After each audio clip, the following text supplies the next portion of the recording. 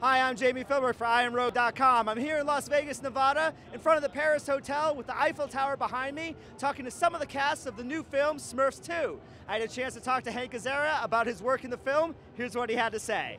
You know, after successfully bringing this iconic character of Gargamel to the big screen in Well, the you make it first sound film, so important. well, it is. It is. Yeah. You know, to those of us who grew up in the '80s with the cartoon, Yes. was it fun to sort of get to explore him a little bit more in the sequel? Yes, it was. It was uh, a little bit easier because you now know what you're doing because you had practice in the first one and all the trial and errors out of the way. But at the same time, you don't want to get too complacent or have it be rote. So, but you know, it's easier to know what you're in for.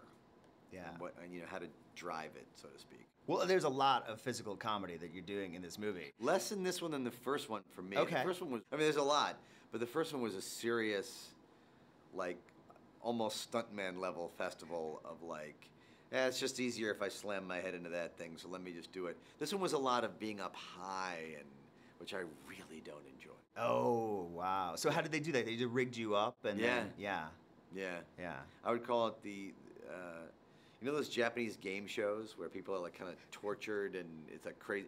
I'd say, oh, today's a Japanese game show day, isn't it? Where I'd just be like 30 feet in the air and on a thing and having to scream and.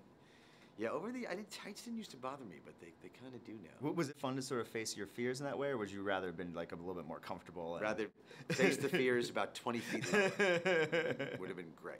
It was fine. It wasn't too. It wasn't like, it wasn't like panic attacks or anything. Right. But I, I, there were days where I was really like kind of hugging, hugging the rail there, just like we got it, good, let's go. Let's Yeah. move on. Yeah. Well, what's it like working? You know, basically, I mean, all the actors, all the characters that you're in, interfacing with in the film aren't there. So, were you a little bit more used to that with the second film? Yeah, actually, yes. I mean, I'm, I'm used to it anyway from The Simpsons, where you're talking to yourself, you know, half the time, and you're just imagining the whole thing. At least I had sets there to imagine. Well, this is where it's going to be. Uh, but yeah, that was a lot easier, and they have great, uh, a couple of great actors who were there on the set who would do the voice, like guys who did Papa Smurf and all the other Smurfs, and a woman who did Smurfette. So you have something to work off of. Something Yes, work at least yeah. at least in an, in, a, in a vocal way. Yeah. I would hear them, and they did it. They would they acted it really well. Well, And Azrael, are you working with a cat or? There is often a real cat. There's like four Okay. cats that will be Azrael.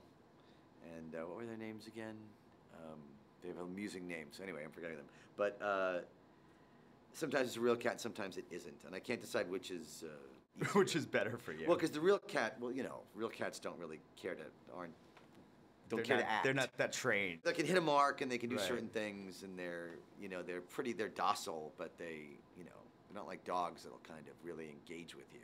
Well, I wanted to ask you, and I know you didn't work with him directly in the film, but uh, this movie marks the last film for the great Jonathan Winters. Yeah. You know, I never the got to voice meet of him. Papa, uh, Papa Smurf. Yeah. well, I was just curious, as a comedic actor yourself, like, what is Jonathan Winters? What's sort of his legacy to comedy? What does he mean to you, and, and the great loss that, that we, we we've had? He was the perhaps the greatest uh, improviser, you know, spontaneous actor of all time. I mean, he Robin Williams directly carried his torch, and then you know, all the great actors who you know you can go directly to Sacha Baron Cohen who took that to a new level, and so basically he he was a comedy innovator, and you know none of us would would be doing what we do if not for him. Do you have a favorite Smurf? Hmm. Well, that's like Sophie's choice. it's really difficult to. I th- I really enjoyed Vanity Smurf in this one. I thought John Oliver did a really hilarious job. Awesome. Yeah. Hank, great talking to you. Sure. Yeah, thanks so much. Great seeing you. Thank again. you. nice to see you too. Thanks so much.